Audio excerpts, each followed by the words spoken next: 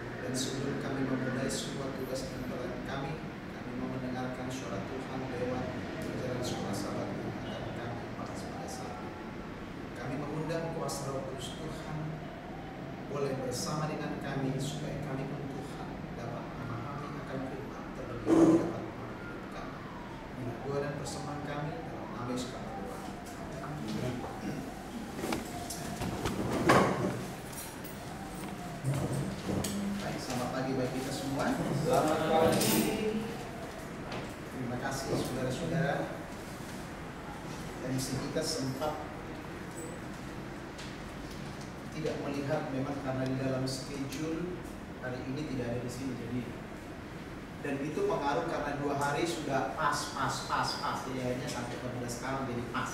Terima kasih kemarin saya lupa mengucapkan terima kasih kepada anda Tuhan pendeta Sagala. Setelah pendeta Sagala dua hari miss tidak ada kita punya lagu spesial. Jadi orang yang sudah di assign belum datang akhirnya kita terus berjalan. Itulah sebabnya MC terus. Jadi terima kasih kepada Bob yang sudah menyampaikan lagu pujian pada pagi.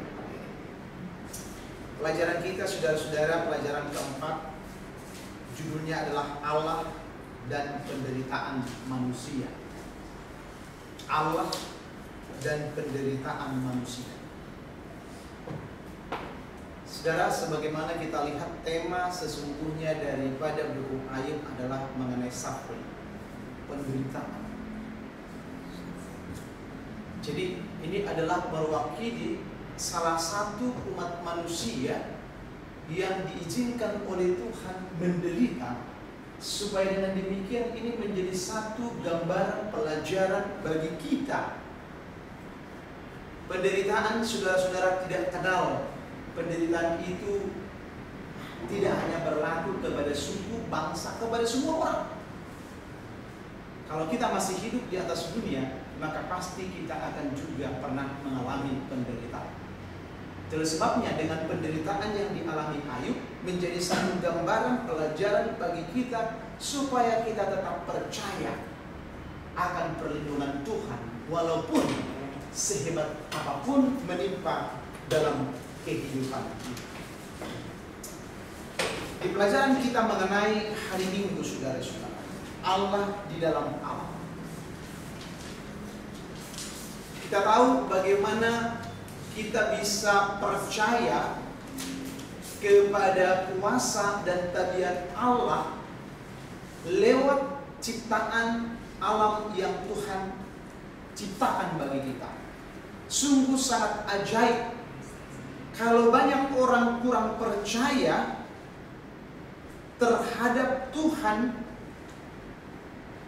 ya itu adalah saudara-saudara mengenai kepercayaan mereka. Tapi sesungguhnya berdasarkan alam makhluk hidup yang ada bahkan yang ada di jagat raya ini ini menunjukkan eksistensi dan realitas Allah sudah benar-benar ada saudara-saudara.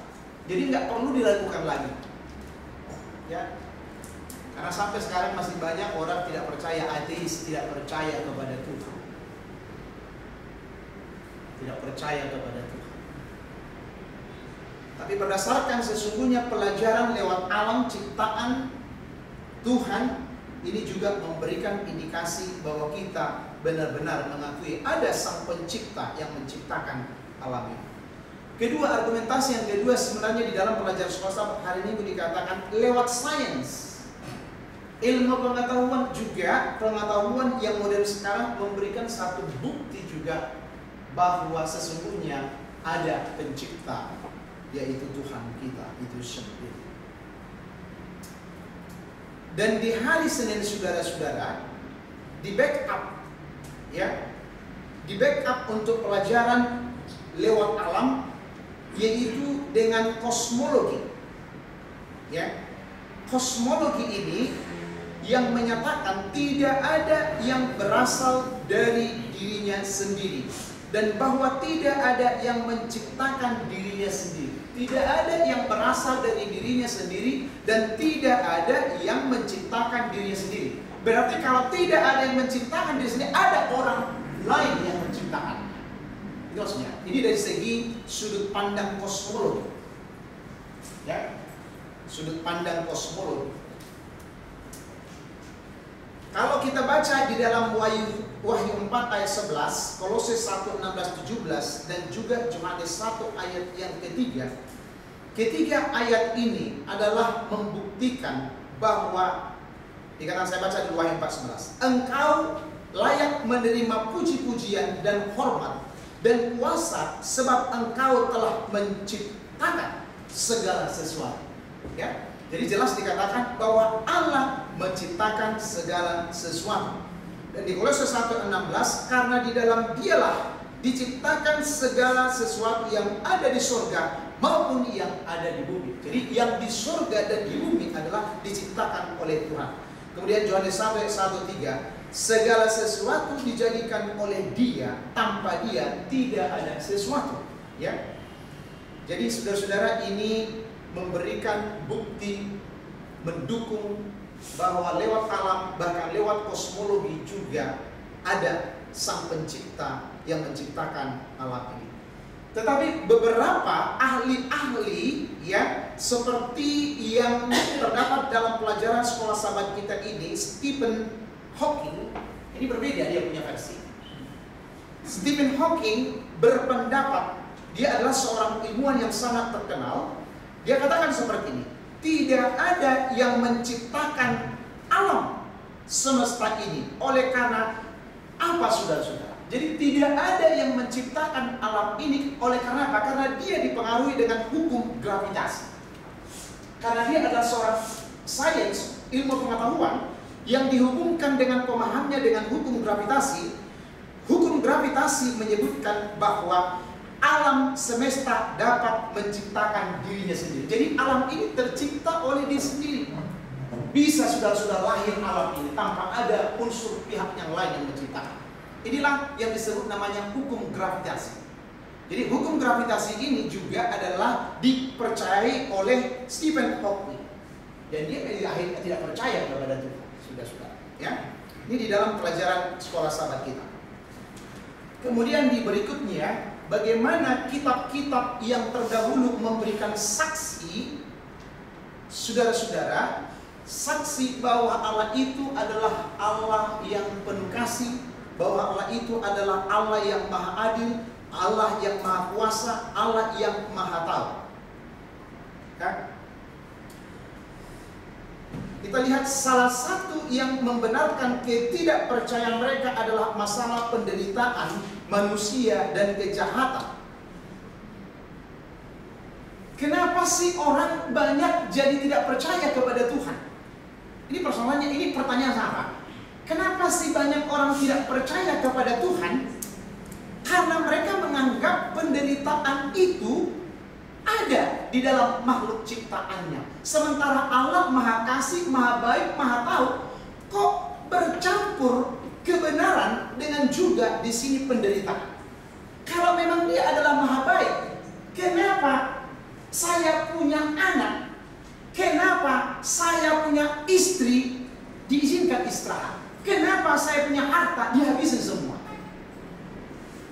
Pertanyaan ini juga ditanyakan oleh siapa? Ayub saudara-saudara.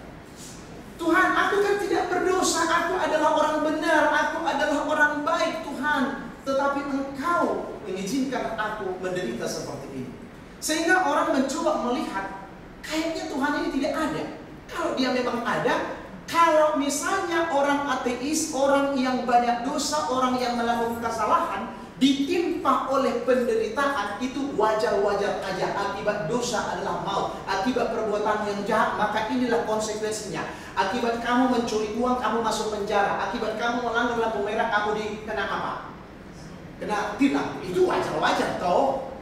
Tapi kalau aku lewat di jalan tidak melanggar rambu-rambu lalu aku ditilang what happened Apa sih Tuhan? Saya benar. Saya baik. Saya orang saleh. Kok saya harus menanggung penderitaan di dalam hidup saya? Tapi kitab Ayub dan kitab daripada Nabi yaitu uh, Musa yang dituliskan oleh Nabi Musa telah menceritakan bahwa Allah itu adalah kebenaran, Allah itu adalah kasih, Bahkan juga Alkitab menceritakan di dalam Alkitab bahwa ada penderitaan yang harus dialami oleh umat-umat.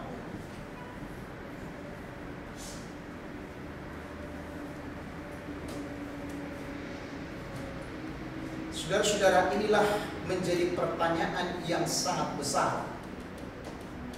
Kitab Ayub berkaitan dengan masalah penderitaan manusia Allah mengetahui bahwa ini akan menjadi pertanyaan besar manusia. Tetapi Tuhan tidak meninggalkan kita sendiri. Inilah menjadi satu garansi yang diberikan oleh Tuhan. Satu garansi ketika kita ditimpa musibah atau ditimpa kemalangan atau ditimpa penderitaan yang lain, maka satu harapan di mana Tuhan never abandon us. Tidak akan pernah meninggalkan kita sudah.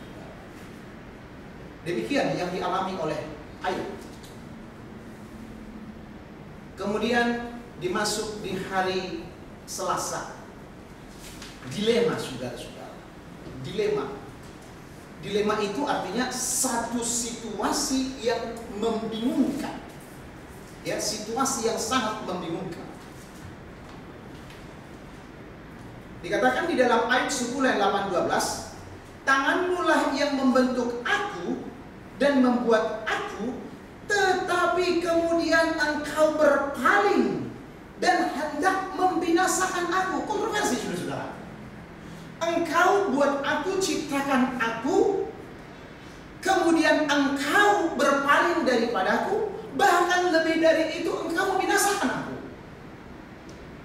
Satu kehidupan yang sangat kontradiktif. Dikatakan jika Allah yang baik dan yang penuh kasih itu ada, mengapakah manusia menderita terhadap hal-hal yang tidak mereka lakukan? Bahkan mengapa orang yang baik seperti Ayub harus melalui malapetaka dan cobaan yang sering kali tidak bernilai? Kita juga sering menghadapi dilema. Ya, dilema kehidupan. Satu hal yang sangat membingungkan dalam kehidupan kita seperti yang dialami oleh Ayub, saudara-saudara. Maju kena, mundur kena itu dilema. Tapi dilema yang dibicarakan adalah seperti yang saya katakan dalam Ayub there is no sin, tidak ada dosa. Tetapi sebaliknya dia harus menderita dalam kehidupannya. Itulah sebabnya saudara-saudara, sesungguhnya ketika terjadi malapetaka dalam kehidupan kita, pertanyaan yang harus kita tanyakan, mengapa Tuhan? Ini ini ada di dalam pelajaran sekolah sahabat. Jangan pertanyakan kenapa Tuhan engkau izinkan penderitaan, tetapi harusnya mengapa Tuhan izinkan penderitaan? Sebenarnya hampir sama, tapi sedikit ada beda. Ya, di pelajaran sekolah sahabat kita itu dikatakan kalau saudara baca, jangan mempertanyakan kenapa. Tapi apa alasannya? Kenapa Tuhan izinkan penderitaan? Sesungguhnya alasan kenapa Tuhan izinkan penderitaan dalam hidup manusia adalah untuk memurnikan iman kita kepada Tuhan. Itu aja sebenarnya. Tuhan izinkan peristiwa terjadi pada Ayub supaya memurnikan imannya kepada Tuhan. Nah, kemudian saudara-saudara, supaya kita banyak berdiskusi di pelajaran yang berikutnya mengenai yaitu teodisi. Ya. Para teodisi dikatakan di sini teodisi itu artinya apa? Saya coba-coba di rumahnya di dalam penuntut sekolah kita yang ada. Kalau saya coba lihat di sini, teodisi itu artinya bertanya mengapa Allah yang baik mengizinkan kejahatan terjadi. Ini dia. Mengapa Allah yang baik mengizinkan kejahatan terjadi? Di hadapan manusia, malaikat-malaikat dan seluruh alam semesta, kebaikan Allah akan dinyatakan walaupun kejahatan terbentang di dalam dunia. Pekerjaan-pekerjaan setan sendiri, buk, sendiri telah mempersalahkan dia. Hikmat Allah, keadilannya dan kebaikannya terbukti kebenarannya. Saudara-saudara kita lihat meskipun ada kejahatan tapi di tengah kejahatan ada keadilan. Nanti akhirnya saudara-saudara kita akan lihat bagaimana akhir keadilan itu muncul. Ya. Sekarang setan mempersalahkan Allah. Sekarang setan mencoba melihat memberkati orang-orang yang katakanlah dulu yang bersama dengan dia terberkati tetapi at the end of their lives there is a justice. Ada keadilan. Akan muncul keadilan. Memang orang yang bersalah akan dihukum, orang yang benar akan diselamatkan oleh Tuhan. Tapi di dalam dunia kita sekarang ini, kita juga masih mengalami dilema. Kenapa orang yang menyembah roh-roh ini Tuhan berkati, tidak ada penyakit, semua berjalan dengan baik. Tetapi kita yang selalu dengan pagi, dengan malam, 277 dan sebagainya, eh banyak penyakit juga. Saya ingat apa yang dikatakan oleh anaknya si Siah. Ini dilema. Papa saya ini adalah sangat strict dengan makanan. Dia ikuti semua aturan kesehatan. Tapi dia kena cancer sudah. Dari mana itu muncul? Ini, ini satu pertanyaan seperti itu. Kita sudah jaga, kita sudah ikuti pola hidup sehat, eh, tetapi Tuhan izinkan kita menderita juga. Ini dilema sama pertanyaan dari Ayub. Tapi yang jelas, apa pun yang terjadi di dalam kehidupan kita, kalaupun kita mendapatkan penderitaan sama seperti Ayub, pada akhirnya penderitaan itu akan diganti menjadi sukacita, akan menjadi berkat bagi kita. Terlebih kita saudara-saudara akan tetap terus percaya akan tuntunan Tuhan di dalam kehidupan kita. yang menyangkal adanya Tuhan. Ini lalu, wah makanya gitu. Kalau dia katakan tidak ada Tuhan karena dia tidak datang kepada kamu. Jadi sekarang juga makanya kau datang kepada Tuhan supaya kau percaya bahwa Tuhan itu ada. Aduh katanya ya sorry sorry sorry dan begitu banyak katanya gitu. Saya akan datang kepada dia. Ya jadi kenapa ada penderitaan? Kenapa ini? Karena manusia tidak datang kepada siapa?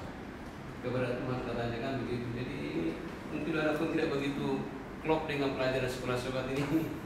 Saya terkesan dengan itu singkat, simple sekali caranya ini. Jadi masalahnya sekarang kita tidak datang kepada Tuhan. Ya. Jadi mengapa ada orang katakan ini dunia ini terjadi begitu saja? Ya, ya karena dia tidak datang kepada Tuhan. Nah, walaupun ateis itu juga satu kali Wahai, ya Tuhan katanya. Rupanya, kok muncul dari bibir kawan ini? Ya ada Tuhan. Tapi di ateis, nah itu dia. Jadi mungkin juga kadang-kadang bisa ada kesusahan ini datang orang kepada siapa?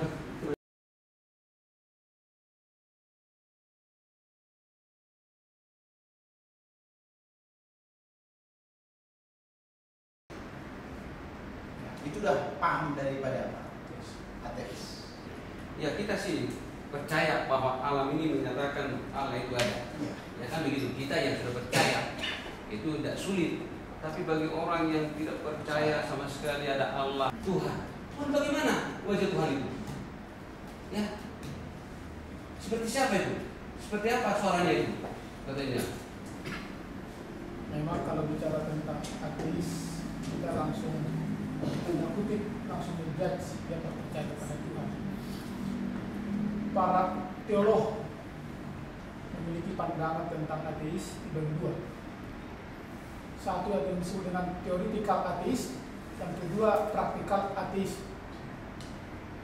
Golongan yang pertama adalah memang dalam benaknya tidak ada konsep tentang Tuhan, tetapi bisa dalam praktek sehari-hari tanpa dia sadari dia menunjukkan Tuhan itu ada. Dan ini yang sering kali kita tuduh tidak bertuhan.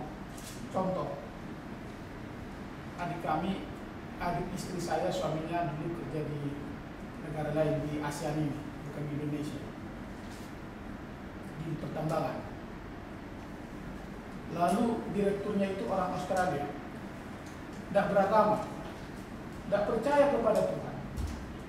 Tapi setiap pagi mereka para kepala bagian ini sebelum memulai pekerjaan dikumpulkan dan dinasehati yang disebut dengan istilah nilai-nilai kebaikan kerja. Ditanamkan adalah bagaimana kita memiliki nilai-nilai kebaikan kerja. Tidak ada baca ayat Alkitab, dia katakan saya tidak beragama, tidak percaya kepada Tuhan. Tapi yang ditanamkan adalah sama seperti yang dikatakan oleh Rasul Paulus di kitab Roma pasal 2 itu tidak sama seperti nenek moyang kita tidak mengenal Tuhan, tetapi hukum Tuhan itu ada di dalam hatinya. Hanya masalah istilah saja. Praktikal ateis. Ini sering kali tidak disadari, tapi dia sudah ateis. Saya bisa terjadi dalam hal ini. Saya katakan saya percaya kepada Tuhan, tapi dalam praktek hidup saya sehari-hari saya tidak menunjukkan saya percaya kepada Tuhan. Seperti sama seperti pertanyaan ini. Saya percaya Tuhan itu ada dan bahkan atas segala kehendaknya lah alam semesta ini semuanya peristiwa terjadi. Bahkan dengan membaca kitab Ayub ini adalah sebenarnya sebuah pertentangan yang besar antara kebaikan dan kejahatan. Dan Ayub tanda kutip bagaikan kelinci percobaan. Memang apa sih bedanya? Ya, saya mau tanya, apa sih bedanya? Nah, orang uh, si, si Kabil dengan si Abdul. si Habil dengan si Kain yang kenal Tuhan yang sangat biasa Gak ada bedanya Jadi Ya buat saya gak terlalu persoalan masalah. Tidak terlalu sulit memahami Mengapa orang-orang tidak percaya kepada Tuhan. Dulu saya tanya Tapi di belakang eh, di pengalaman hidup saya Saya sangat mengerti mengapa orang tidak percaya kepada Tuhan. Saya jujur aja ini mungkin di hadapan diri saya begitu saya memang apa rupanya mau dibilang kita lebih baik? Ya nanti kita tidak berani bahwa kita lebih baik. Dan sebagainya. Jadi di, di Pak Kutas itu katakan di hidup saya pribadi aja kebanyakan dikuasai tidak percaya. Kalau mau dibilang mati kekal memang apa bukan susahnya mati kekal yang mati ini lah orang susahnya? Itu dibiarkan daripada yang hidup itu. Tak ada repot-repotnya. Jadi apa? Nah, ini yang selalu bergejolak baik di tetapi ya ini saya tidak katakan tapi sering bergejolak tapi saya bersyukur oleh karena orang orang benar itu hanya hidup oleh karena apa Jadi untuk eh, pelajaran sekolah sahabat ini sebenarnya ini oleh akibat dosa sehingga manusia berpendapat oh kalau ada Allah maka dunia ini akan seperti surga. Tidak bisa, ini rasional, tidak masuk akal. Namanya sudah ada dosa, pasti ada penderitaan, entah siapa pun dia. Nggak mungkin orang saya umat Tuhan gempa, terus tempat saya nggak bergerak. Bagaimana bisa begitu? Dan itu eh, berbeda-beda. Contoh, wanita yang menderita perkara sakit, belum lagi dia minta disembuhkan, dia hanya pegang bajunya sudah sembuh. Karena messianic role ini fokus bukan hanya physical salvation aja, tapi main utama prioritasnya adalah spiritual kerohanian gitu kadang-kadang Tuhan selamatkan kita secara fisik secara ekonomi, secara petani kemarin tidak ya terancam. Jadi mengenal dengan iman yang kita miliki dan iman yang kita